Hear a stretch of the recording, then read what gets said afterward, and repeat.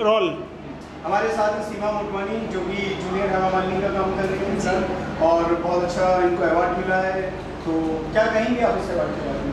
uh, मैं इस award के बारे में शायद मेरे पास शब्द नहीं है because as a look like Hema Malini first award है। सीमा मोटवानी या एज एंकर या as mimicry artist as stand up comedian मुझे बहुत सारे अवार्ड मिले but as look like Hema Malini मैं बहुत खुश क्या परफॉर्म किया आपने यहाँ मैंने गाने परफॉर्म किए। एक मेरे नसीब में मैंने किया जो उनका फेवरेट है। और एक प्रेम चोपड़ा जी के साथ में शायद फ़र्स्ट डांस होगी उनकी। एंड प्रेम चोपड़ा जी की शायद एक ही डांस आया होगी। उनको मेरे साथ प्रेम चोपड़ा जी के साथ? तो आपको शायद पता नहीं ये खतरनाक विलियन नहीं है लेकिन आपको शायद पता नहीं है।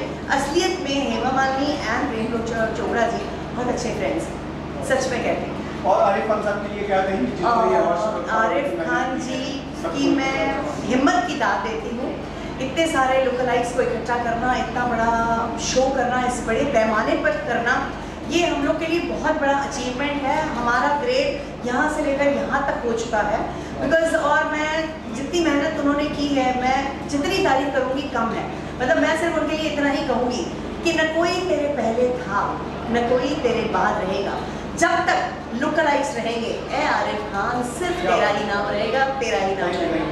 Thank you, thank you so much. Thank you. Thank you so much.